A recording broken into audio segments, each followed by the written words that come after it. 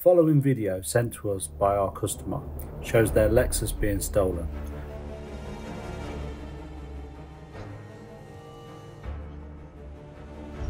You can see the thieves breaking the steering wheel so the vehicle can be driven away, steering lock intact.